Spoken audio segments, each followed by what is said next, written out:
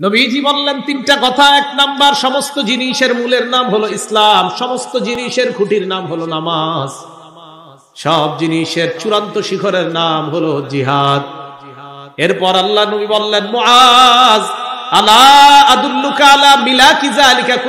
এই যে তোমাকে এতক্ষণ বয়ান করলাম, এর সার নির্যাস কি আমি তোমাকে বলব না?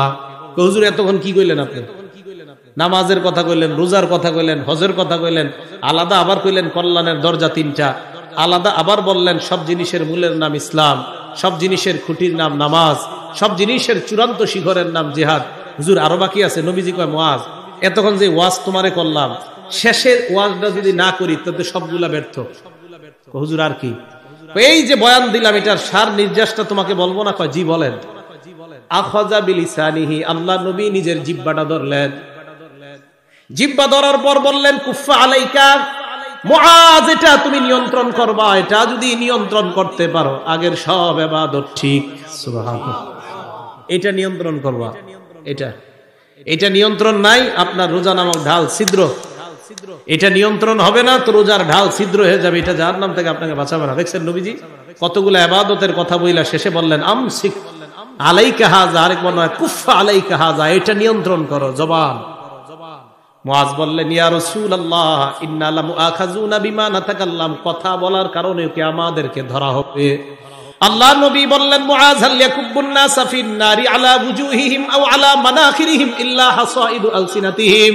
বেশিরভাগ মানুষ, অধিকাংশ মানুষ শুধুমাত্র এই জিব্বার কারণে জাহান্নামে যাবে বলেন, নাউজুবিল্লাহ। বেশিরভাগ মানুষ, অধিকাংশ মানুষ শুধুমাত্র এই জিব্বার কারণে জাহান্নামে যাবে। তাহলে রোজা ছিদ্র হয় দুই জিনিসের মাধ্যমে, মিথ্যা, গিবত। আর মিথ্যা আর গিবত করা হয় যে জিনিস দিয়ে, এটার নাম জিব্বা। আল্লাহ জিব্বাটাকে গুনা থেকে হেফাজত করার তৌফিক দান করেন।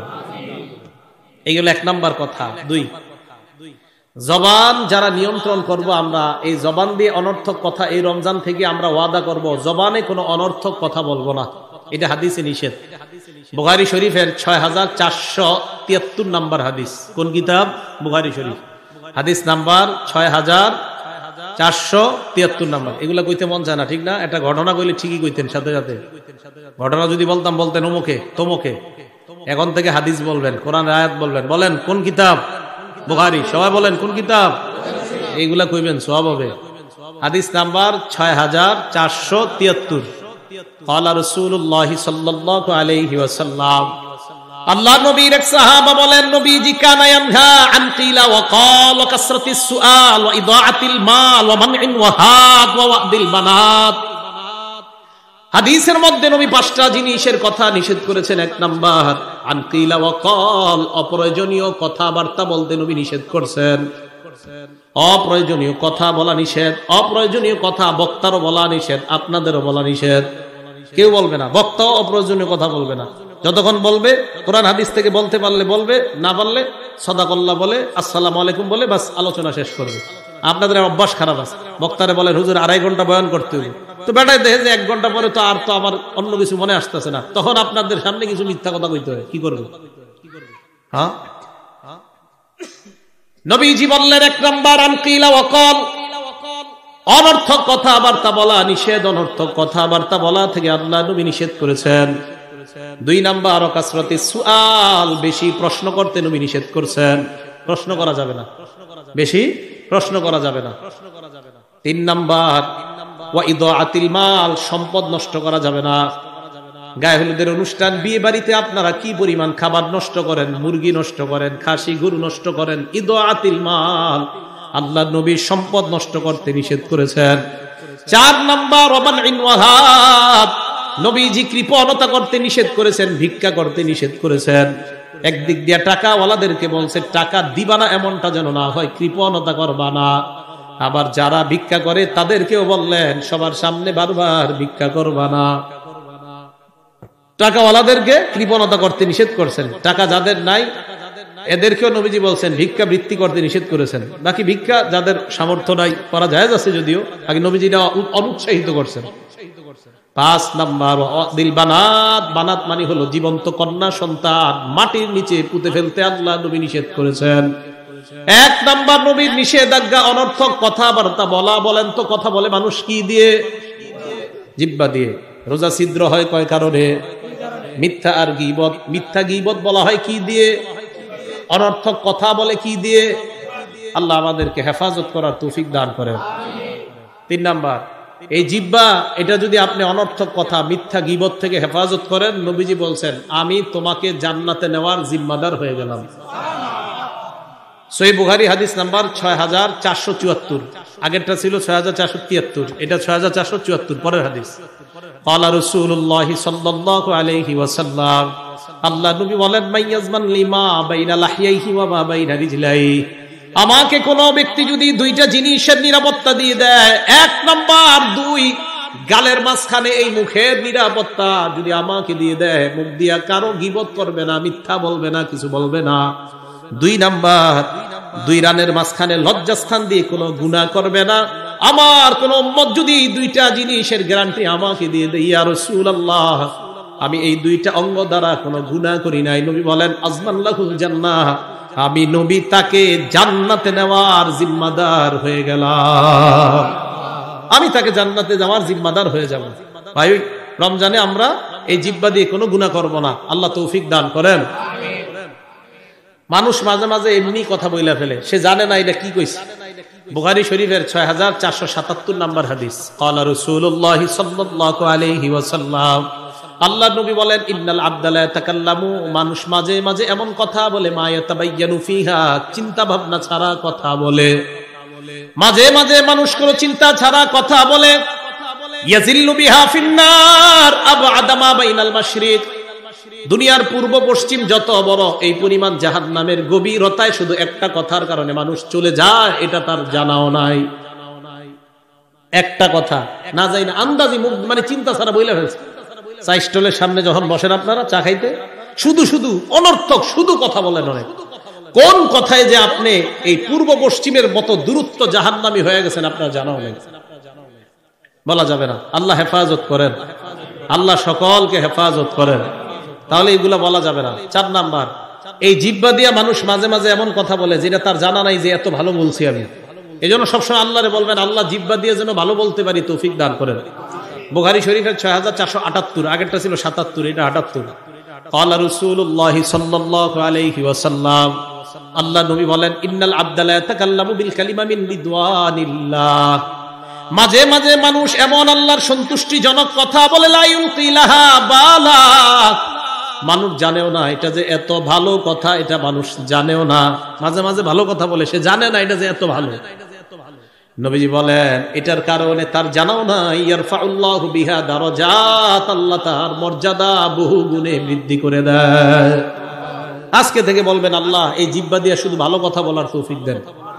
এবার আল্লাহ নবী বলেন, মানুষ মাঝে মাঝে এমন কথা বলে চিন্তা ভাবনা ছাড়া যে কথা আল্লাহ অসন্তুষ্ট হয়ে যায়।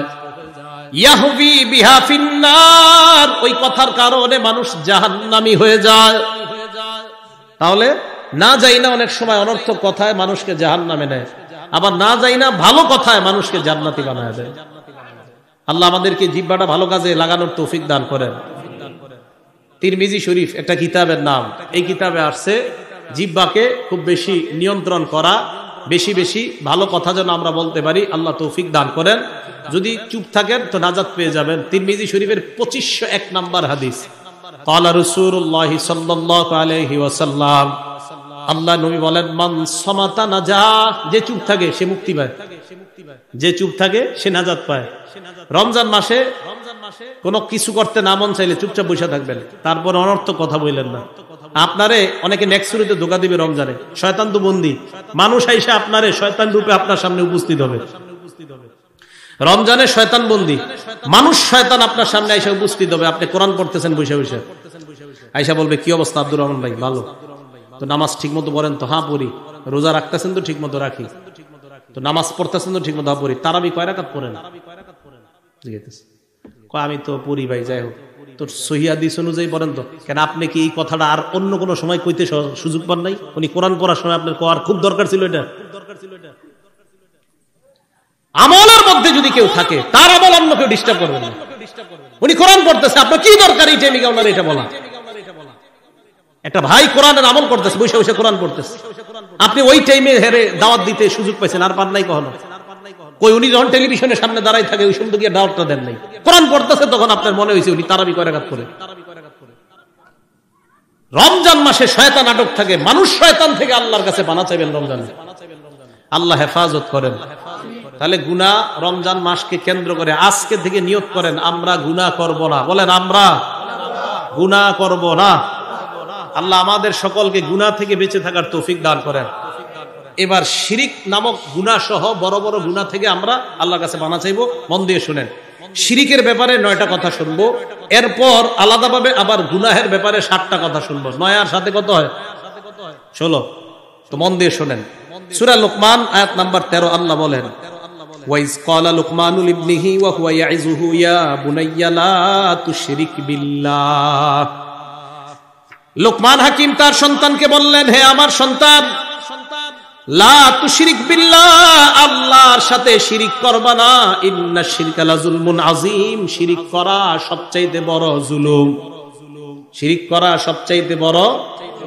আমি তারকে একটা ঘুষি দিলাম, দেখেন, তাকে একটা ঘুষি দিলাম। এটার নাম জুলুম। আমি মাজারে গিয়ে মাজারওয়ালার কাছে বললাম, আমার একটা ছেলে দাও, এটাও জুলুম। এটা ছোট জুলুম। মাজারে যে চাইলেন এটার নাম বড় জুলুম। এরে ঘুষি দিছি। এটাও জুলুম। অন্যায় ভাবে একটা ঘুষি দিছি, এটা জুলুম। মাজারে গিয়ে কইছেন, ও বাবা, আমার সন্তান দেন। এটাও জুলুম। ওটা বড় জুলুম। এটা কি জুলুম? বড় জুলুম। চাইতে হবে কার কাছে? আল্লাহর কাছে। এগুলো এক নাম্বার কথা, শিরিকের ব্যাপারে। দুই নাম্বার। সুরা মাইদা আয়াত নাম্বার 72 আল্লাহ বলেন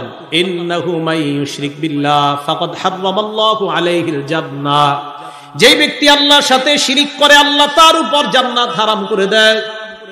শিরিক অবস্থায় যদি আপনার মরণ হয়ে যায়, আপনার ঠিকানা জাহান্নাম। আপনার জন্য আল্লাহর জান্নাত হারাম বলেন নাউজুবিল্লাহ। তিন নাম্বার দেখেন, কত ভয়ঙ্কর কথা।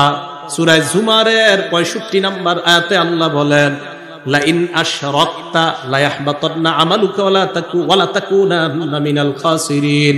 আল্লাহ নবীকে আল্লাহ বলেন, লাইন আশরাকতা দেখেন। লাইন আশরাকতা, আপনি যদি শিরিক করেন, নবীরে কয়, আপনি যদি শিরিক করেন। আপনি যদি শিরিক করেন। আমালুকা, আপনার সব আমল নষ্ট।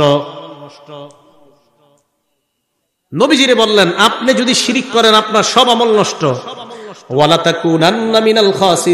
আপনি ক্ষতিগ্রস্তদের অন্তর্ভুক্ত হয়ে যাবেন। নবীর আমল যদি নষ্ট হয় শিরিক করলে আমাদেরটা কি থাকবে না নষ্ট হবে? আল্লাহ শিরিক মুক্ত আমল করার তৌফিক দান করেন। এগুলো তিন নাম্বার কথা। চার নাম্বার, শিরিকের অপরাধ আল্লাহ মাফ করে না। সুরায় নিসা, আয়াত নাম্বার আটচল্লিশ, আল্লাহ বলেন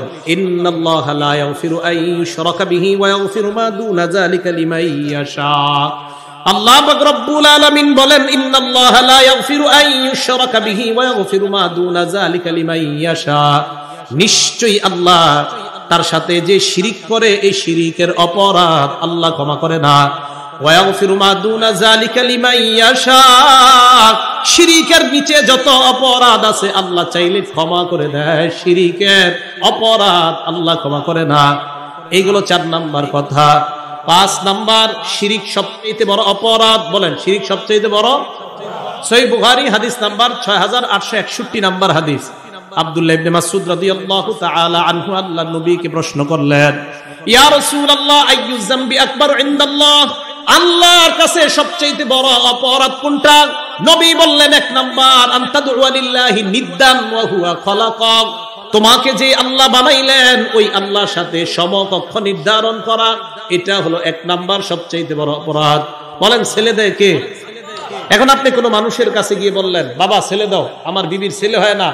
ও বাবা, আমার বিবির ছেলে দাও। আল্লাহ দে ছেলে আল্লাহ দে মেয়ে। আপনি বাবারে বললেন ছেলে দিতে, বাবারে বললেন মেয়ে দিতে শিরিক। এটা কি? বানাইছে আল্লাহ। তা আল্লাহর সাথে শিরিক করা যাবে না। এক নাম্বার, বড় পাপ। আমি প্রশ্ন করলাম, দুই নাম্বার, সবচাইতে বড় পাপ কোনটা আমাকে বলেন? আল্লাহ নবী জবাব দিলেন তোমার সন্তান তোমার সাথে খাবে, দারিদ্রতার ভয়ে সন্তান হত্যা করা। তিন নাম্বার আমি প্রশ্ন করলাম, এরপর সবচেয়ে বড় অপরাধ কোনটা? আল্লাহ নবী জবাব দিলেন, আন্তুজানি বিহালিলাতি জারিকা। তোমার প্রতিবেশীর স্ত্রীর সাথে জিনা করা, এটা হলো সবচাইতে তিন নাম্বার বড় অপরাধ। তাহলে এক নাম্বার, শিরিক করা। সবচাইতে বড় পাপ।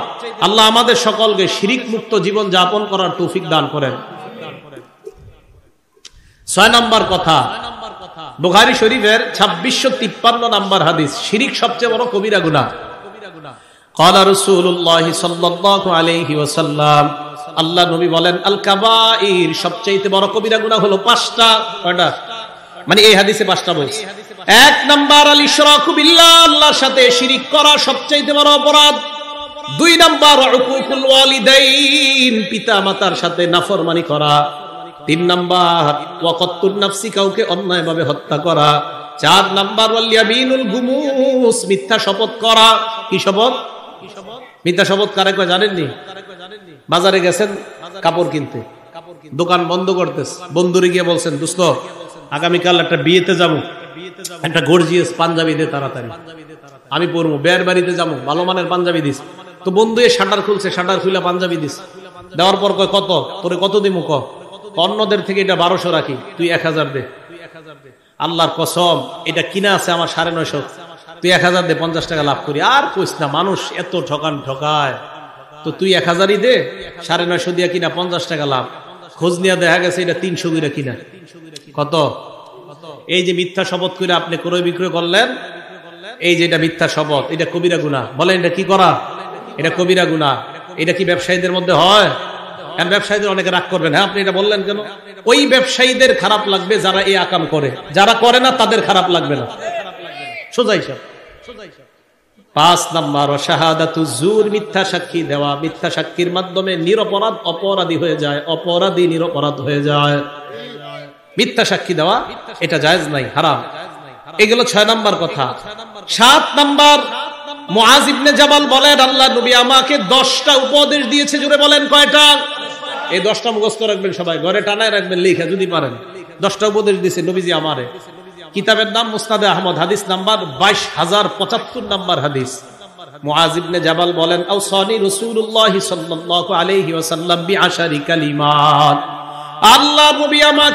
উপদেশ দিয়েছে, এক নাম্বার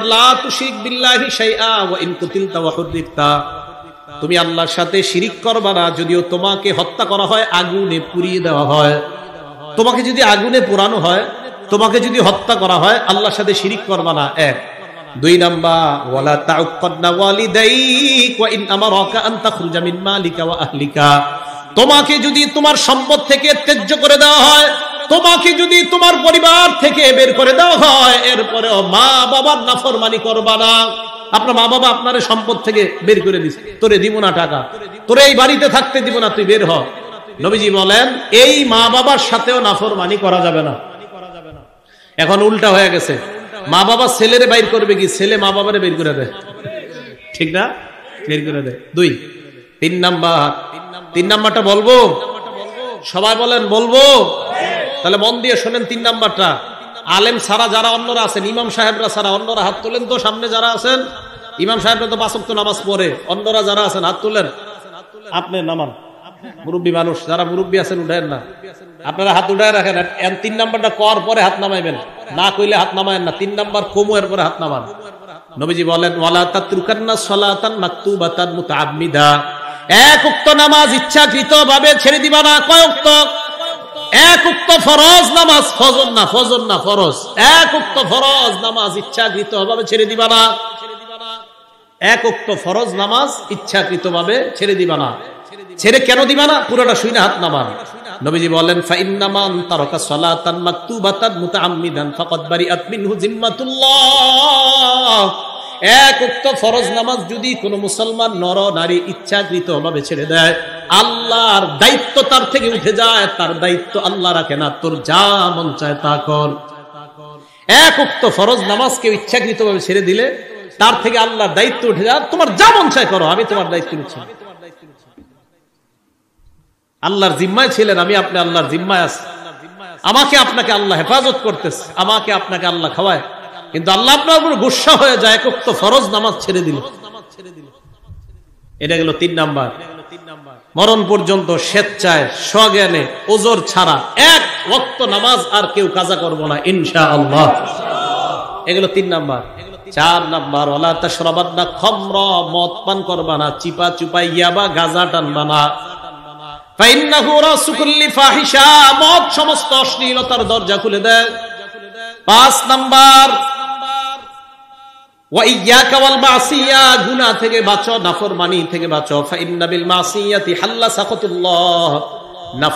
কারণে আল্লাহর গজব এলাকায় আসে বলেন নাউজুবিল্লাহ জিহাদের ময়দান থেকে পলায়ন করবা না। হালাকান নাস, সব মানুষ যদি জিহাদের ময়দানে শহীদ হয়ে যায়, এরপরেও তুমি জিহাদের ময়দান থেকে পলায়ন করবা না। জিহাদের ময়দান থেকে? পলা ইমাম মাহাদির দলে যোগ দিলেন তো ইনশাল্লাহ মরে গেলে না বাঁচলে? আর আমরা তো ইমাম মাহাদিকে পাবো না, এটা নিশ্চিত। এই জন্য আপনি আপনার ছেলেরে ওসিয়ত করে যাবেন। এদেরকে বলবেন নাতি নাতিরে বলতে। এদেরকে বলবেন পরবর্তী প্রজন্মকে ইমাম মাহাদির ব্যাপারে জানাইতে বলবেন। দাজ্জালের ব্যাপারে জানাইতে বলবেন। কেয়ামতের ব্যাপারে জানাইতে বলবেন। শুধু পাঁচটা মুস্তাহাব নিয়ে আজকে থেকে আর ঝগড়া করব না। ঠিক আছে না? তিন চারটা মুস্তাহাব নিয়ে আমাদের মাঝে খালি ঝগড়া। ভাই ভাইয়ের দেখতে পারে না। কেন? এক ভাই আমিন জোরে আরেকজন আসতে কয়, দুইজনে কথা কয় না। দুইজনে কথা কয় না। কি আজীব অবস্থা। এই দেশে গত দশ বছর আগে মুসলমানের মধ্যে যে ভাতৃত্ব ছিল, এই ঐক্য নষ্ট হয়েছে মুস্তাহাব কেন্দ্র করে। বড় কিছু না, মুস্তাহাব। যেই মসজিদে নিরানব্বই জন আমিন আসতে কয়, আপনি ওই জায়গায় গিয়ে জোরে কোয়া দরকার কি বলেন? আমিন না কইলেও নামাজ হয়ে যায়, আপনি জোরে কনকা আমিন না বললেও নামাজ হয়। এটা আপনি বলেন তো আমার মানে আমি বলছি না, আপনি জোরে বললে নামাজ হয় না, এটা বলছি না। আপনি জোরে বললেও নামাজ হয়, আসতে বললেও হয়, না বললেও হয়। তো এটা নিয়ে কেন ভাই বাইরে দেখতে পারেন যে আমিন না বললেও নামাজ হয়, এই আমিন নিয়ে বাপে আর ছেলের মাঝে সম্পর্ক নষ্ট। ঢাকা, লালবাগে। আল্লাহ আমাদেরকে হেফাজত করেন। ভাই, যারা মাঝাব মানেন আর যারা মানেন না, আপনাদেরকেও বলছি, আল্লাহর এই মুস্তাহাব নিয়ে আমাদের মাঝে ঝগড়া করেন না। যে মসজিদে সবাই আমি নাচতে করেন আপনি আমি নাচতে করেন, কিছু হব না আপনার। আমরা কোনো সমস্যা হবে না। কিন্তু আরেকজন দেখেন, একজন কৃষক মানুষ, উনি যখন নতুন করে দেখবে, আপনি আমিন জোরে বলছেন এই কি হলো কি হলো এটা কৃষকও তো বুঝবে না, আলেমরা বুঝবে যে হ্যাঁ আপনি আমিন জোরে বলছেন, এটার প্রমাণতা আছে কিন্তু একজন কৃষক যদি আপনারে দেখে, ও ভয় পেয়ে যাবে কি, ঘটনা কি কি হলো মসজিদে? এই জন্য যেই এলাকায় নবীর যেই শূন্যটা চালু আছে, সেখানে সেটাই করতে দেন ঠিক আছে না ইনশাল্লাহ এইগুলা নিয়ে ঝগড়া করা যাবে না। তাহলে জিহাদের ময়দানের ব্যাপারে আলোচনা গুলা করা দরকার। অনেক মাহফিল আছে যে মাহফিল গুলাতে শুধু এই পাঁচটা মুস্তাহাব নিয়ে শুরু থেকে শেষ পর্যন্ত আলোচনা হয়। অবাক করা বিষয়। আল্লাহ আমাদেরকে হেফাজত করেন। এই গেল ছয় নাম্বার, সাত নাম্বার। ওয়াইজা আসবাদ নাসা মাউতুন, কোন এলাকার মধ্যে যদি মহামারী লাগে, মহামারী। ওয়ান্তা ফিহিম, তুমি যদি ওই এলাকায় থাকো, ফাসবুত, সেখানেই থাকো, সেখান থেকে যেও না। বিশ্ব স্বাস্থ্য সংস্থা করোনা ভাইরাস লাগার পর তারা বলে দিল, সারা দুনিয়াকে লকডাউন দিতে বলল। জনগণকে বাহিরে যাইতে নিষেধ করল, তাদের নাম হয়ে গেল বিশ্ব স্বাস্থ্য সংস্থা, বিশ্ব গবেষক। ঠিক না ঠিক না? তারা যেই কথাটা বলছে, আমার নবী এই কথাটা পনেরো শত বছর আগে বলছে, অতএব সারা দুনিয়াতে ঘোষণা দেওয়া দরকার। মুসলমানরা তো জানি আমার নবীর চেয়ে বড় গবেষক কেউ নাই। অমুসলমানরাও মানতে হবে যে তোমাদের এই ঘোষণা আমার নবী পনেরো শত বছর আগে দিছে, অতএব উনি পৃথিবীর শ্রেষ্ঠ গবেষক। এখন এরা বলছে, কয়, ঘরে থাকো। আমার নবীজি পনেরো শত বছর আগে গেছে মহামারী লাগলে ওখানে থাকো বাইরে আট, নয়, দশ নম্বর মন দিয়ে শোনেন। তুমি তোমার পরিবারের উপর সাধ্য অনুযায়ী খরচ করবা। নয় নম্বর পরিবারের উপর থেকে শাসনের লাঠি কখনো উঠাইবা না। আপনার বিবি যেন আপনাকে ভয় পায়। আমার স্বামী আর যা করুক, নামাজ যদি আমি না পড়ি, আমার স্বামীর মতো এত ভয়ঙ্কর আর কেউ হবে না। আপনার বিবির মাঝে যেন এই ভয় থাকে, আমার স্বামী দুনিয়ার সব কিছু করতে রাজি, যাবে নামাজ যদি আমি না পড়ি, আমার স্বামী আমার সাথে প্রচুর রাগ করবে, প্রত্যেকটা বিবির মধ্যে এই ভয় যেন কাজ করে। শাসনের লাঠি। শাসনের লাঠি আপনার ছেলে আর মেয়ে ফজরের নামাজের সময় জন্য এটা বলে, এই, তাড়াতাড়ি ওঠ মসজিদে চল, আব্বা কিন্তু রাগ করবে। এই ভয় ছেলে মেয়েদের মাঝে থাকতে হবে। কিন্তু নাই কেন জানেন? বাপ, ছেলে, মেয়ে, বিবি একসাথে বৈশা যদি সিনেমা দেখে এক ঘরে, তো কীভাবে এই ছেলে বাবারে শ্রদ্ধা করবে আর এই বাবা ছেলের কীভাবে শাসন করবে? শাসনের লাঠি উঠায়ও না। শাসন তখন আপনার ছেলে আপনারটা মানবে। আপনার লজ্জা করেন আপনি বাবা, ছেলে একসাথে গুণা করেন, তো এই ছেলে আপনার মানবে কীভাবে? এই তো আপনাকে লাখা বুড়া হলে আপনার বের করে দিবে। ঘর থেকে ছেলেরে শিক্ষা দিচ্ছেন আপনি যা, সে তো তাই করবে। দশ নাম্বার, ওয়াকিফুম ফিল্লাহি আজ্জা ওয়াজাল পরিবারকে সদা সর্বদা আল্লাহর ব্যাপারে ভয় দেখাও। তাহলে দশটা উপদেশ নবী বললেন, এর মধ্যে এক নাম্বার গুণাটা হলো শিরিক করবা না। দুই নাম্বার গুনাহের কথা নবী বললেন মা বাবার নাফরমানি করবা না, তিন নাম্বার, এক উক্ত ফরজ নামাজ ইচ্ছাকৃত ভাবে ছেড়ে দিবা না, চার নাম্বার বললেন মদ খাবা না, পাঁচ নাম্বার আল্লাহর সাথে নাফরমানি করবা না, ছয় নাম্বার জিহাদের ময়দান থেকে বালাইবা না, সাত নাম্বার মহামারী লাগলে ওই এলাকা থেকে বালাবা না, আট নাম্বার সামর্থ্য অনুযায়ী খরচ করবা, নয় নাম্বার পরিবারের উপর থেকে শাসনের লাঠি কখনো উঠাইবা না, দশ নাম্বার পরিবারকে আল্লাহর ব্যাপারে ভয় দেখাও। এই রমজানকে কেন্দ্র করে ইনশাল্লাহ ইলেকট্রনিক মিডিয়ার গুণা থেকে সকলে হেফাজত থাকব, আল্লাহ তৌফিক দান করেন। ইলেকট্রনিক মিডিয়ার গুণা কেউ করেন না, ফেসবুকে গুণা করেন না, ইউটিউবে গুনাহের জিনিস দেখেন না, আল্লাহ আমাদেরকে বেঁচে থাকার তৌফিক দান করেন। এগুলো সাত নাম্বার কথা, সাত নাম্বারে নবীর দশটা উপদের জানলাম। আট নাম্বার, শিরিক ছাড়া আকাশ পরিমাণ, জমিনের রাশি রাশি পরিমাণ গুণা নিয়ে যদি আল্লাহর কাছে বলেন, আল্লাহ মাফ করে দেন কায়মন বাক্যে দিল থেকে আপনি যদি বলেন, আল্লাহ মাফ করে দেন, আর গুণা করব না, ওই মুহূর্তে আল্লাহ আপনার আকাশের চূড়া পরিমাণ গুণা মাফ করে দেন। তিরমিজি শরীফ হাদিস নাম্বার পঁয়ত্রিশশো চল্লিশ তিন হাজার পাঁচশো চল্লিশ নাম্বার হাদিস। আল্লাহ বলে আদম, হে আদম সন্তান তুমি গুনা করার পর ইন্নাকামা রজাউতানি ওয়ামা দাউতানি, তুমি আমাকে ডাকবা, যে আশা নিয়ে ডাকবা। গফার তুলাকা আলা মা কানা ফিকা, তোমার মাঝে যে অপরাধ হয়ে যায়। আমি আল্লাহ, তোমার অপরাধ, তোমার আশা অনুযায়ী আমি মাফ করে দিব। আমি আল্লাহ, এই মাফ করে দিতে কোনো পরোয়া করি না। আপনাদের এই জায়গায় কারও পাহাড় পরিমাণ গুণা। আল্লাহ বলে তোমার গুণা যদি পাহাড়ের পরিমাণ হয়ে যায়, আকাশের চূড়ায় গিয়ে পৌঁছে যায়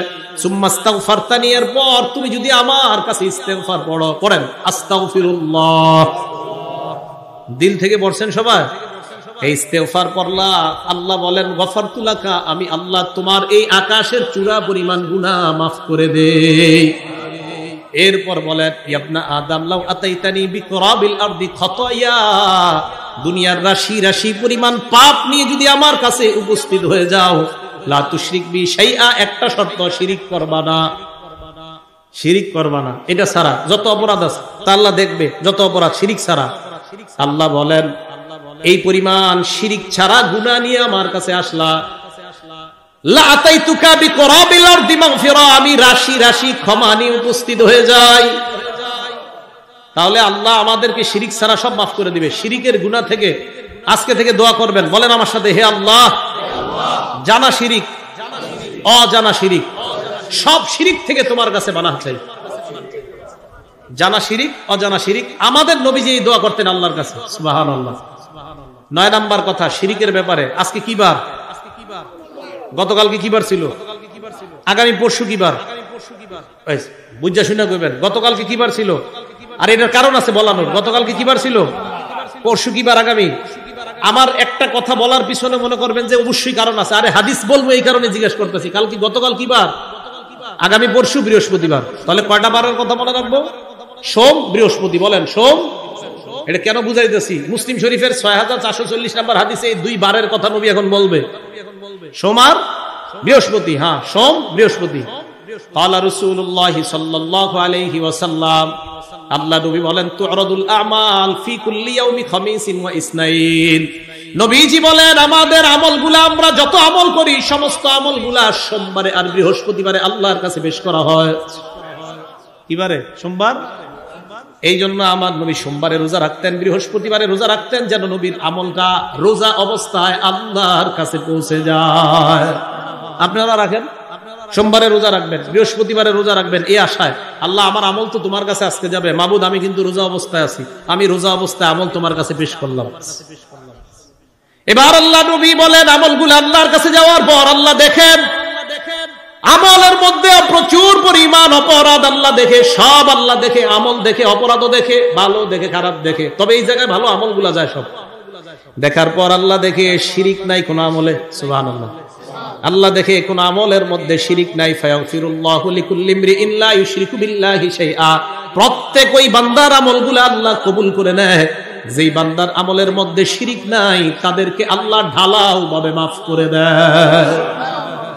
সোমবার বৃহস্পতিবার। তাহলে সোম বৃহস্পতিবারে রোজা রাখবেন?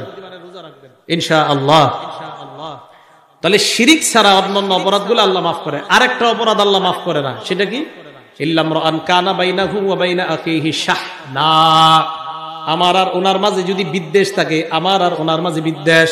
যদি দুইজনের মাঝে থাকে, দুইজনকে আল্লাহ মাফ করবে না। যদি তার প্রতি আমার থাকে, ওনার মধ্যে যদি না থাকে, ওনাকে মাফ করবে, আমাকে মাফ করবে না। ভাই ভাই, বিদ্বেষ। যদি দুইজনের মাঝেই বিদ্বেষ থাকে দুজনকে মাফ করবে না। যদি একজনের মাঝে থাকে, তো একজনকে মাফ করবে না। তাহলে আজকে থেকে আপনারা সিদ্ধান্ত নেন, কাদের সাথে বিদ্বেষ আছে? দুই দোকানদার, একজন আরেকজনকে দেখতে পারে না। বেচা ভালো হয় কেন? এই জন্য এই বিদ্বেষ থাকলে যার মাঝে বিদ্বেষ আছে, তাকে আল্লাহ মাফ করবে না। তাহলে দোকানদার ভাইয়েরা যারা আমল নামা সোমবার, বৃহস্পতিবার পাঠাচ্ছেন আপন দুই ভাই আপনার আমল নামা সোম বৃহস্পতিবারে যাচ্ছে।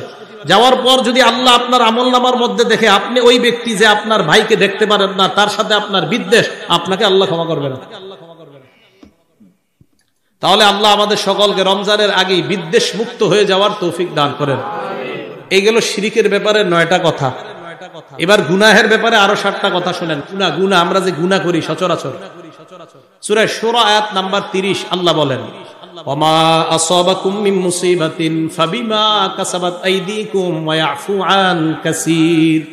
আল্লাহ বলেন তোমাদের উপর যত বিপদ আপদ আসে, বালা মুসিবত আসে, সব তোমাদের হাতের কামাই। আমাদের উপর গজব আসে, আমাদের গুনাহের কারণে। আল্লাহ কয় অনেক অপরাধ আমি আল্লাহ ক্ষমা করে দিই, সবগুলার জন্য ধরলে খবর ছিল। আরে অনেক অপরাধ তো আমি আল্লাহ ধরি না, মাফ করে দেই যেইগুলা কয়েকটা ধরি, এগুলার কারণে গজবাস সব যদি ধরতাম, তো তোমাদের অবস্থা খারাপ ছিল। অনেক অপরাধ আল্লাহ ক্ষমা করে দেয়। সুরা সৌর আয়াত নাম্বার তিরিশ। এগুলো এক নাম্বার কথা। দুই নাম্বার ইমানদার যারা আজকে থেকে গুনাকে পাহাড়ের মতো মনে করবেন। বলেন, ইমানদার ছোট গুণা বড় গুণাকে কিসের মতো মনে করব?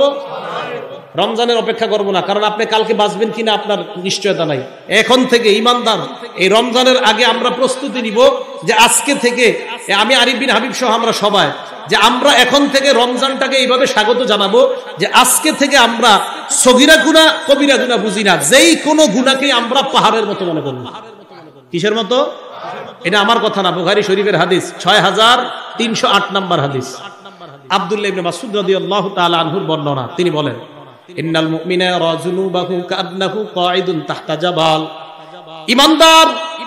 একটা করার আগে মনে করবে, আমি বিশাল বড় একটা পাহাড়ের নিচে আলাই। এই পাহাড় আমার উপর পড়তে পারে, বলেন তো, পাহাড় পড়লে বাঁচবো না মারা যাব? তাহলে ইমানদার গুণা করার আগে মনে করবে আমার উপর বিশাল বড় একটা পাহাড়। এই পাহাড় পড়লে যেমন আমি মারা যাব গুণা করলে আমার জীবনটা ধ্বংস হয়ে যাবে। ইমানদার ছোট গুণা বড় গুণা বুঝি না। ইমানদার গুণাকেই মনে করবে পাহাড়। তাহলে বলেন, আজকে থেকে আমাদের স্লোগান, সামান্য, যেই কোনো সামান্য পরিমাণেও যদি কোনো গুণা আমাদের হয়, এটা কিসের মতো মনে করা? বান্দা। এই পাপাচার বান্দা গুনাকে মনে করে একটা মাসির মতো মাসি নাকের ডগার সামনে দিয়ে যায় আর আসে এটা। এই জন্য মনে রাখবেন, মোবাইলে যারা সিনেমা নাটক দেখে, আজকেও দেখে, কালকেও দেখে, পরশুও দেখে, ব্যাপার না ব্যাপার না মানে মাসি মাসি মাসি, এই যে আজকে সিনেমা দেখছে আমি বয়ান করলাম না, এই যে দেখেন, দেখল। হুজুর বলছে আচ্ছা যাক। আপনি আজকে থেকে দেখেন, আজকে প্রথম দিন তো দেখবেন তো আপনার মনে হবে পাহাড়। কিন্তু আপনি আবার কালকে করতেছেন, পরশু করতেছেন, তখন আপনার কাছে এটা আর না, এটা মাসি, ব্যাপার না। এই গুণা কোনো ব্যাপার নেই। তাহলে পাপা চার বার বার গুণা করাটা, এর অর্থ হলো সে গুণাকে মাসির মতো মনে করে, ব্যাপার না, নাকের ডগায় সামনে দিয়ে আসছে গেছে। আর একজন প্রকৃত ইমানদার, ছোট্ট একটা গুণাকে কিসের মতো মনে করবে? আজকে থেকে আপনি সিদ্ধান্ত নিতে পারবেন, গুনাহের ধরন দেখা। আপনি কি ইমানদারের কাতারে আছেন না পাপাচার? আপনি সিদ্ধান্ত নিতে পারবেন। প্রতিনিয়ত গুণা হচ্ছে যেটা আপনার, তো বুঝতে হবে আপনি পাপাচার। কারণ আপনি গুনারে গুনাই মনে করছেন না, এটা মাসি আপনার কাছে। কথাগুলা কি বুঝে আসছে? তাহলে আজকে থেকে আমরা গুনাকে পাহাড়ের মতো মনে করব। আল্লাহ তৌফিক দান করেন। তিন নাম্বার কথা, একটা গুণা করলে, বলেন, সবাই একটা গুণা করলে কয়টা? সাথে সাথে অন্তরে একটা কালো দাগ পড়ে যায়। তিরমিজি শরীফ, হাদিস নাম্বার তেত্রিশশো চৌত্রিশ। তিন তিন তিন, চার, কত হয়? তিন তিন তিন, চারে কত হয়? তিরমিজি শরীফের তেত্রিশশো চৌত্রিশ নাম্বার নবীজি বলেন যখন একটা অপরাধ করে তার অন্তরের মধ্যে একটা কালো দাগ পড়ে যায়। বান্দা যখন গুনা থেকে বাঁচে, নিয়ত করে, তওবা করে, মাবুদ, আমি আর গুনা করব না। সুকিলা কলবুহু, তার ওই কালা অন্তরটাকে আল্লাহর পক্ষ থেকে সাদা বানানো হয়ে যায়। এবার বুঝেন গুনা হয়ে গেছে তবা করছেন, অন্তর সাদা হয়ে যাবে। নবীজি বলেন, ওয়া ইন আদা গুনা যদি বারবার করে, ওয়া ইন আদা গুনা যদি বারবার করে, জিদা দাগ বেড়ে যায়। একবার গুণা করলেন, আপনার দাগ বেড়ে যায়। যুবক ভাইরা ভালো করে শুনেন, আজকে নাটক দেখলেন। বিশ্বাস করেন, আপনার কলমের মধ্যে কালো দাগ পড়ে গেছে। আবার দেখলেন, আবার দাগ, আবার দেখলেন, আবার দাগ। আল্লাহ নবী কয়, এক পর্যায়ে আর দাগ থাকে না। এই খাতার মধ্যে কলম দিয়ে দাগ দিতে দিতে পুরাটা কালো বানানো সম্ভব কিনা বলেন? নবীজি বলেন, দাগ পড়তে পড়তে এক পর্যায়ে আর দাগ থাকে না। পুরাটা কলম কালো একটা আবরণের মধ্যে ঢেকে যায়। পুরা কলমটা মসুরির ডালের মতো কলম। একটা কলমের টুকরাটা মসুরির ডালের মতো ছোট্ট কিতাব এইটা পুরা কালো একটা আবরণের মধ্যে ঢেকে যায়। এই আবরণওয়ালা দিল নিয়ে যদি আপনি কেয়ামতের মাঠে যান, আল্লাহ বলেন, কাল্লা বাল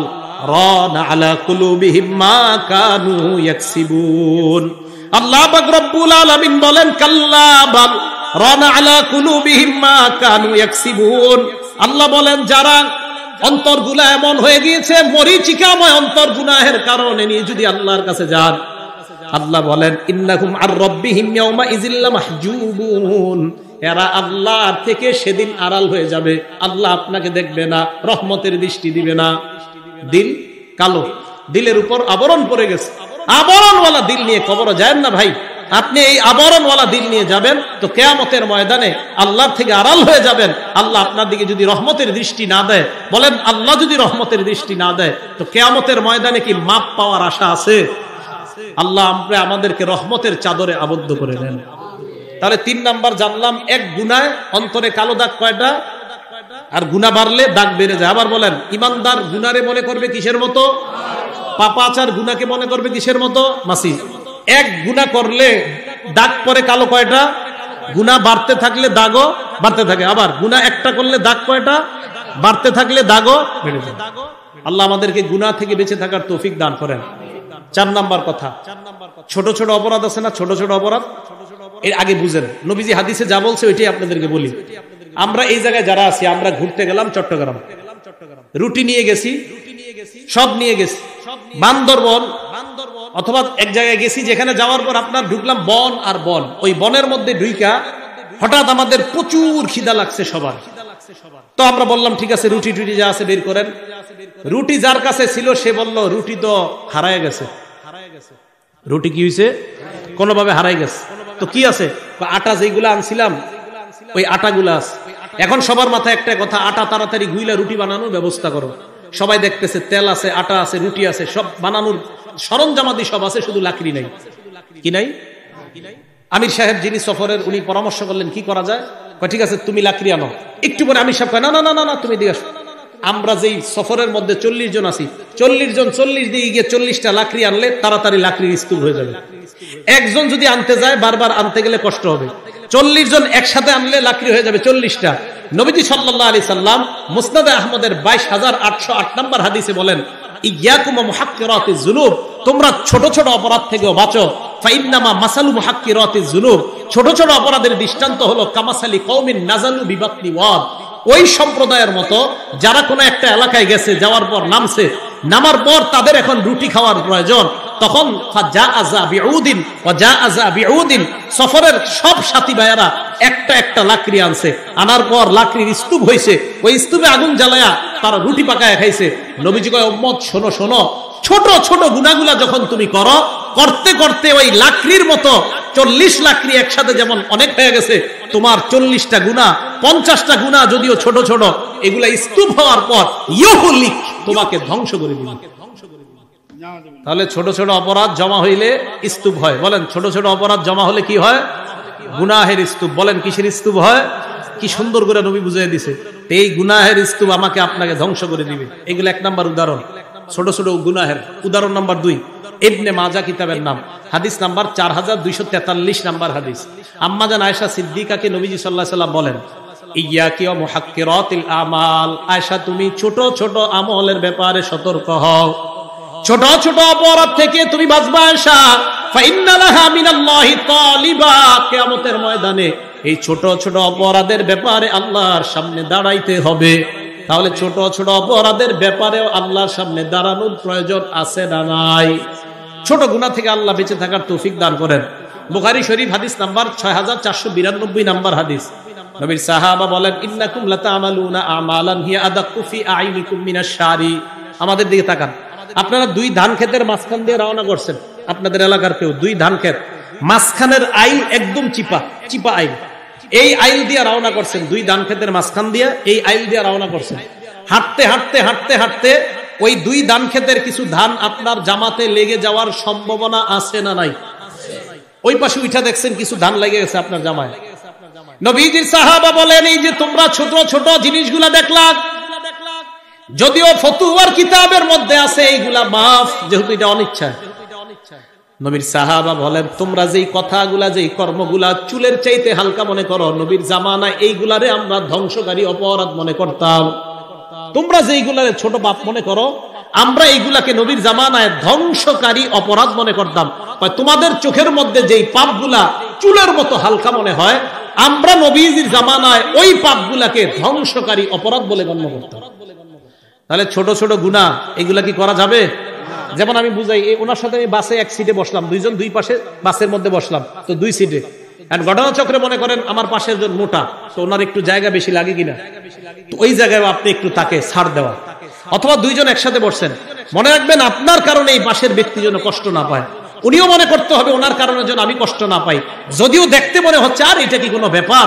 নবীর সাহাবারা বলেন, তোমরা যেটাকে ব্যাপার মনে করছ না, এইটাকে আমরা ধ্বংসকারী অপরাধ মনে করি। আমি কি কথাটা বুঝাইতে পারছি? তাহলে ছোট ছোট অপরাধ, এটা ধ্বংসকারী অপরাধ সাহাবারা মনে করতেন। আল্লাহ ছোট গুণা থেকেও বেঁচে থাকার তৌফিক দান করেন। পাঁচ নাম্বার, গুণা যদি ব্যাপক হয়ে যায়, এলাকায় গজব আসবে, ব্যাপক ভাবে। মোস্তাদে আহমদ কিতাবের নাম, হাদিস নাম্বার ছাব্বিশ হাজার ছয়শো আটত্রিশ নাম্বার হাদিস। আলহি ওয়াসাল্লাম ইজা জহরতিল মাসিফি কৌমিন কোন এলাকার মধ্যে যখন গুণা ব্যাপক হয়ে যায়, বলেন তো সুদের গুণা ব্যাপক হয়েছে কিনা? হ্যাঁ? আল্লাহ ওই এলাকার সবার উপর ব্যাপকভাবে গজব দিয়ে দেয়। সাহাবারা প্রশ্ন করলেন আমাফি হিম রাসূলুল্লাহ? তাদের মাঝে কি কোনো ভালো মানুষ নাই? সাহাবাদেরকে আল্লাহ নবী জবাব দিলেন হ্যাঁ গজব যখন আসবে, খারাপের উপর আসবে, ভালোর উপরও আসবে। ময়দানে যারা ভালো, তাদেরকে আল্লাহ আলাদা করে তাদেরকে জান্নাতের মেহমান বানায় দিবেন। তাহলে কি বোঝা যায়? সুদখোরের কারণে গজব আসবে, ভালো মানুষ যাচাই হবে কেয়ামতের ময়দানে। গজব আসবে সবার উপর। গুণা ব্যাপক হয়ে গেলে গজব সবার উপর আসবে।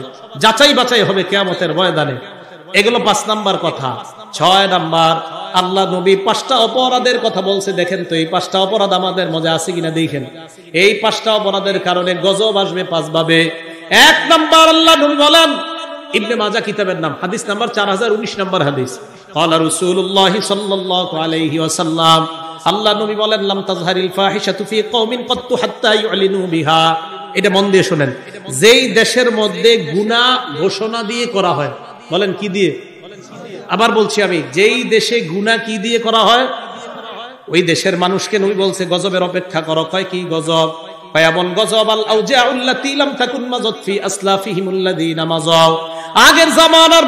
গুণা নাম নাই, এমন এমন গজবের অপেক্ষা তোমরা করো। করোনা ভাইরাসের নাম আগের জামানায় শুনে নাই আইলা নাইলা এইগুলার নাম কেউ শোনে নাই। আমরা আরও কত গজবের অপেক্ষায় আছি, আল্লাহ জানে। যেই দেশের মধ্যে করোনা নামক গজবে কোটি কোটি মানুষ বেকার হয়ে যায়, এরপরে আমাদের দেশে কীভাবে নর্তকি নাচানাচি করে আর এমন নাচানাচি ঘোষণা দিয়ে যদি করা হয়? আল্লাহ নবী কয়, অপেক্ষা কর, করোনা দিয়ে তুঙ্গরে ধরছে এর পরেরটা করোনার চাইতে ছোট হবে না। মুসলমান, করোনার চেয়ে বড় গজবের অপেক্ষা। বড় গজব। আমাদের দেশের মানুষ কি পরিমাণ কষ্টে ছিল? এর পরেও কীভাবে গুণা ঘোষণা দিয়ে করে? শুধু গুণা না মানুষ ব্যবসা এমন বুঝাইতে চায় আল্লাহ আপনি করোনা না আরও বেশি কিছু দেন তাও গুণা ছাড়বো না। অপেক্ষায় থাকতে হবে। এক নাম্বার তাহলে গুণা যেই দেশের মধ্যে ঘোষণা দিয়ে করা হয় ওই দেশে এমন গজব আসবে যেই গজবের নাম আগের উম্মত শুনে নাই। দুই নাম্বারটা দেখেন তো আসিনি আমাদের মাঝে দুই নাম্বার অপরাধটা বলি। যারা মাপে ঠিক মতো দেয় না। ওজনে ঠিক মতো দেয় না। এই জায়গায় ব্যবসায়ী আছেন কারা কারা? হাত তোলেন তো আছেন। যারা মাইপা ব্যবসা করেন এরকম আছেন কারা? হাত তোলেন তো মাইপা ব্যবসা করেন। হাত নামান। নবীজি বলেন যে দেশের মধ্যে ওজনে কম দেওয়া হয়, ওই দেশে গজব আসবে তিনটা। যেই দেশে ওজনে কম দেওয়া হয়, গজব আসবে কয়টা? এক নাম্বার, ইল্লা উখিজু বিসিনিন ওই দেশের মানুষে আল্লাহ খাদ্যের গজব দিবে। না খায় মরবে? তরি তরকারির দাম বাড়বে, মধ্যবিত্তরা কিনে খেতে পারবে না। ওই দেশে গজব লাগবে, খায়া না খায় মানুষ মরবে। সবাই মরবে না। কিছু মানুষ এরকম গজবে পড়তে হবে। কারণ নবীজি আল্লাহর কাছে দোয়া করছে, আল্লাহ, আমার উন্মত্রে আপনি একবারে না খাওয়ায় মাইরেন না এই জন্য না খাওয়ায় একবারে মারবেন আল্লাহ। মুসলিম শরীফের চারশো বাহাত্তর নম্বর হাদিস এটা আস তাহলে যেই দেশে ওজন কম দেওয়া হয় এই দেশে এক নাম্বার গজব, এই দেশের মানুষ খাদ্যের অভাবে ভুগবে। দুই অসিদ্দাতিল মাউনা, অর্থনৈতিক গজব দেখা দিবে। তিন নাম্বার সুলতানি আলাইহিম ওই দেশের মানুষের উপর যারা শাসক থাকবে, তারা তাদের উপর জুলুম করবে। যে দেশে মাপে কম দেওয়া হবে, ওই দেশে তিনটা গজব আসবে। এক নাম্বার, খাদ্যের অভাব। দুই নাম্বার অর্থনৈতিক অভাব। তিন নাম্বার, শাসক শ্রেণি তাদের উপর জুলুম করবে। তো শাসক যদি আমার আপনার উপর জুলুম করে, এটা তাদের দোষ না, বরং আমার আপনার দোষ কেন মাপে কম দিই? আমি আপনি মাপে কম দিই, আল্লাহ গজব তো পাঠাবে। এগুলো তিন নাম্বার, গজব। অপরাধ গেল দুইটা, এবার তিন নাম্বার অপরাধ দেখেন।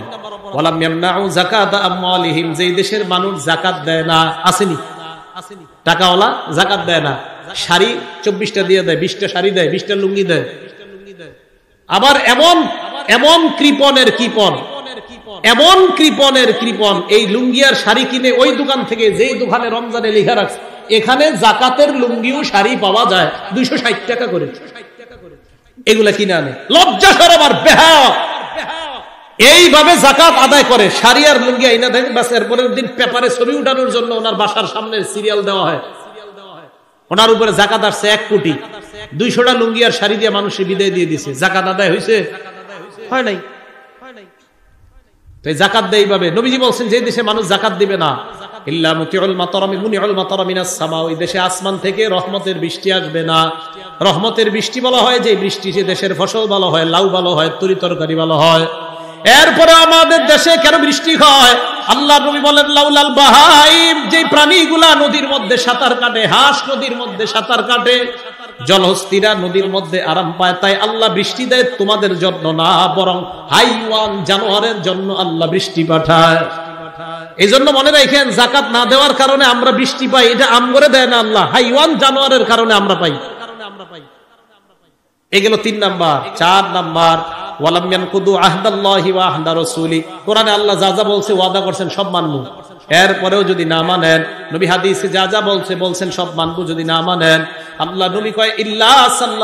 আলাইহিম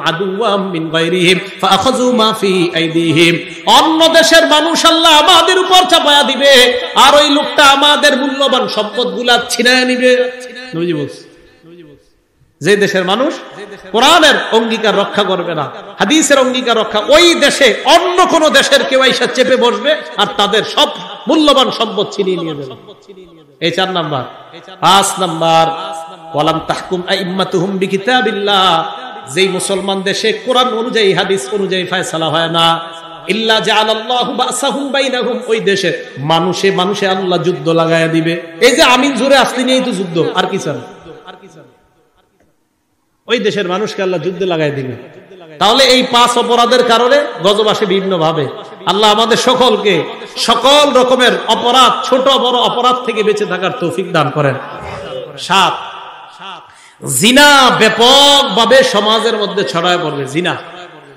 ব্যাপকভাবে জিনা নামক অপরাধটা ছড়ায় পড়বে। এই রমজান মাস সামনে রেখা। রমজান মাসেও যুবকরা ফেসবুকে রাতের পর রাত জিনা করবে এই আশায়। প্রেমিকারে বলবে, চলো দুইজন সাহারি পর্যন্ত চেটিং করিবা, কথা বলি। জিনা জিনা জিনা। জিনা অবৈধভাবে একটা ছেলে, একটা মেয়ের সাথে চেটিং করা হাতের জিনা, কথা বলা মুখের জিনা, কানের জিনা। দলিল সেই বুগারি হাদিস নাম্বার ছয় হাজার ছয়শো বারো নাম্বার হাদিস। রসুল আকরাম সাল্লাহ আলি সাল্লাম বলেন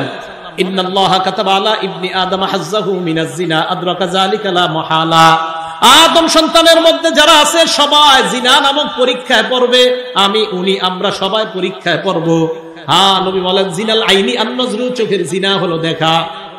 চোখের জিনা? দেখা। হারাম জিনিসের দিকে দেখা। সিনেমা বারবার দেখা, চোখের জিনা। সিনেমার মধ্যে নারীর দিকে বারবার দেখা, চোখের জিনা। নায়িকাকে দেখা, চোখের জিনা। এই চোখের জিনা এটা এক নাম্বার। দুই নাম্বার, জিনাল লিসানাল মান্তিক, মুখের জিনা, কথা বলা। আপনি একজনের সাথে রং নাম্বার, একটা মেয়ের সাথে কথা বললেন। কথা বলার পর বালিশে শুয়ে শুয়ে এখন কল্পনা করতেছেন, না জানি দেখতে কেমন। নবীজি বলেন মনে মনে কল্পনা করলাম মনের জিনা। এরপর কথা বলতে বলতে আপনারা চ্যাটিং করা শুরু করলেন, কারণ মা বাবা শুনতে পারে হাতের জিনা। এরপর আপনাদের দুইজনের দেখা করার ফিক্সড হয়েছে সময়। দেখা করার জন্য পারফিউম লাগিয়ে আপনি ঘর থেকে বের হলেন হাঁটতে হাঁটতে রওনা করলেন পায়ের জিনা। মেয়েটার সাথে গিয়ে আপনি দেখা করলেন নবাবগঞ্জ কলেজের পিছনে। দেখা করার পর তার শরীর থেকে আপনার নাকে গ্রান আসছে নাকের জিনা। কি হয় এটা হয়? আপনারা না বললে হয় নবীজি বলছে এটা হবে। আপনি যদি বলেন যে, হয় না, মিথ্যা কথা, কে আছেন এরকম যে মোবাইল, স্মার্টফোন চালান, আর কয়জন আছেন এরকম রাতের বেলা? কাজ করেন না। কয়জন? যারা করেন না তো করেন না। যারা না করছেন এটা, আপনি হাতের জিনা করছেন, চোখের জিনা করছেন, নাকের জিনা, কানের জিনা। রসুল আকরম সাল্লাম বলছে, আমার উম্মত জিনা করবে তো দূরের কথা, এরা জিনারে হালাল মনে করবে। জিনা কি মনে করবে? হ্যাঁ এটাও বলছে রবিজি বুখারি হাদিস নাম্বার পাঁচ হাজার পাঁচশো নব্বই নাম্বার হাদিস। কলা রসুল্লাহ সাল্লাহ আলহি ওসাল্লাম আল্লাহ নবী বলেন আমার মধ্যে এমন একদল মানুষ বের হবে যারা জিনা করা হালাল মনে করবে। জিনা করা হালাল মনে করবে। দুই নাম্বার হারির রেশনের পোশাক করা হালাল মনে করবে। ঈদের সময় পাঞ্জাবি কিনতে সাবধান। সিল্কের পাঞ্জাবিতে কিন্তু রেশমের সুতা যদি ঢুকাইয়া দেয়, এটা বলা যায় নাই। সিল্কের পাঞ্জাবি বলে। এখন এটার মাঝে আপনি চেক করে নিবেন যে রেশমের সুতা টুতা আছে কিনা। রেশম পরা পুরুষের জন্য হারাম। দুই নাম্বার, রেশমের পোশাক পুরুষ হালাল মনে করবে। তিন নাম্বার, ওয়াল খমর, মদ পান করা হালাল মনে করবে। চার নাম্বার, ওয়াল মাআজিফ বাদ্য যন্ত্র গান বাদ্যকে হালাল মনে করবে। গান বাদ্যকে হালাল মনে করবে। এটা আপনারা কি করবেন? এখন বয়াতি যারা আছে, তারা মাইক নিয়ে দাঁড়ায় কয়, গান জায়েজ আছে, গান যে হারাম, এটা কোন কিতাবে আছে? বয়াতিরা জানতে চায় হুজুর কাছে। তাহলে ঢোল তবলা, গান বাদ্য হালাল না হারাম? আরে জোরে বলেন, হালাল না হারাম? হারাম। জিনারে মানুষ হালাল মনে করবে, জিনারে মানুষ হালাল মনে করবে, গানকে মানুষ হালাল মনে করবে, রেশমের পোশাক মানুষ হালাল মনে করবে। নবীজি বলেন, আমার উম্মত জিনা করবে মানে জিনাকে হালাল মনে করবে। সে যে জিনা করা গুণা এটাকে গুনাই মনে করবে এই জন্য ভাই, বলছিলাম ছোট গুণা বড় গুণা সিরকি গুণা সব প্রকার গুণা থেকে যেন আমরা বেঁচে থাকতে পারি আল্লাহ তৌফিক দান করেন। সর্বশেষ কথা। রমজানের সামনে রেখা আজকে থেকে ওয়াদা করেন একক তো নামাজ ছাড়বেন না। করতে পারি ওয়াদা? রমজানের বাকি আছে কয়দিন? আচ্ছা চার দিন ধরে নি আমরা, চার। রমজান তিরিশ ধরি, চারে আর তিরিশে কত হয়? চৌত্রিশ। চারে আর তিরিশে কত হয়? এরপরে আরও ছয় দিন, কত হয়? চল্লিশ দিন। আবার বলছি, চার, তিরিশ, চৌত্রিশ। এরপরে ছয় দিন কতদিন হয়? কত হয়? চল্লিশ দিন। তিরমিজি শরীফের দুইশো একচল্লিশ নাম্বার হাদিস। আল্লাহ রসুল্লাহ সাল্লাহ আলহি ওসাল্লাম আল্লাহ নবী বলেন, মান সাল্লাহি আরবাইনা কোন মুসলমান যদি প্রথম তাকবীরের সাথে চল্লিশ দিন টানা নামাজ পড়ে? কয়দিন রমজানে তো মাসাল্লাহ আমরা মাসাল্লাহ সবাই মোটামুটি পাঁচ নামাজ পড়ি। কিন্তু তাকবির উল্লার সাথে যদি পড়তে পারেন, তাহলে রমজান তিরিশ, পরে ছয়, আগে চার। টানা চল্লিশ দিন যদি আপনি প্রথম তাকবীরের সাথে নামাজ পড়েন আপনার জন্য দুইটা মুক্তি লেখা হয়। বলেন কয়টা? এক নম্বর বড় আতুমিনান নিফাক, মুনাফিকির খাতা থেকে আপনার নাম কেটে দেওয়া হয়। দুই নাম্বার জাহাদ নাম থেকে আপনার নামটা কেটে দেওয়া হয়। তাহলে চল্লিশ দিন টানা, এরপরে তার বইরেন না। মানে কি? নাকি? চল্লিশ দিনের একটা মানে ইয়া দিয়ে যাচ্ছি কেন? রমজানে তো মাসাল্লাহ পড়েন রমজান তিরিশ, আগে চার, পরে ছয়। তো এখন থেকে একটা শুরু করে দেন। প্রতিযোগিতা করেন। পাঁচ, ছয় বন্ধু মিলে আপনারা প্রতিযোগিতা করেন। মোবাইলে আপনাদের এই কথাটা হোক এখন থেকে। নামাজের বিশ মিনিট আগে আপনারা পাঁচ বন্ধুর কথা বলবেন, কিরে, জামাতে যাবি না? বাস আপনাদের এই প্রতিযোগিতা চলুক এখন থেকে। যে চল্লিশ দিন বন্ধু বন্ধুর মোবাইলে এই নিয়ে আলাপ হবে নামাজের বিশ মিনিট আগে। এই, নামাজে যাচ্ছস তো? আসতেছস তো? চল, আমরা যাই। এরকম দশ, পনেরো বন্ধু আপনারা তৈরি হয়ে যান যে চল্লিশ দিন আমরা প্রথম তাকবিরে ইনশাল্লাহ নামাজ হবে কি ঠিক আছে না ইনশাল্লাহ এই একটু আগে যে নামাজটা গেছে কোন নামাজ? আগামীকাল সকালে যে নামাজ আসবে কোন নামাজ? ফজরের নামাজ। এশার নামাজ যারা জামাতে পড়ছেন আর ফজর যারা জামাতে পড়বেন ইনশা আল্লাহ মুসলিম শরীফ হাদিস নাম্বার তেরোশো সাতাত্তর নাম্বার হাদিস। নবীজি সাল্লাম বলেন, মান সাল্লাল ইশা আফি জামা কেউ যদি এশার নামাজ জামাতে পড়ে, ফাঁকা আন্নামা কমান ইসফাল্লাইল আপনারা আজকে যারা এশা জামাতে পড়ছেন, আপনি অর্ধেক রাত দাঁড়ায় দাঁড়ায় এবাদত করলে যেই সব ঘুমায়াও সেই সব পাবেন। এরপরে উঠা যদি ফজর জামাতে পড়েন উইঠা যদি ফজরের নামাজ জামাতে পড়েন, নবীজি বলেন নমান সাল্লাহ হাফি জামা কেউ যদি ফজরের নামাজটা জামাতের সাথে আদায় করে, ফাঁকা নামাজ সাল্লাহ কুল্লা, সে সারা রাত নামাজ করার সব পাবে। পর্ব তো ইনশাল্লাহ তাহলে নামাজ আমরা আর কেউ কাজা করব না। নামাজ ইনশাল্লাহ পড়ব, জামাতের সাথে পড়ব। নামাজ পড়ব, বলেন কিসের সাথে পড়ব? জামাতের সাথে পড়ব। সই বুখারি, হাদিস নাম্বার ছয়শো পঁয়তাল্লিশ।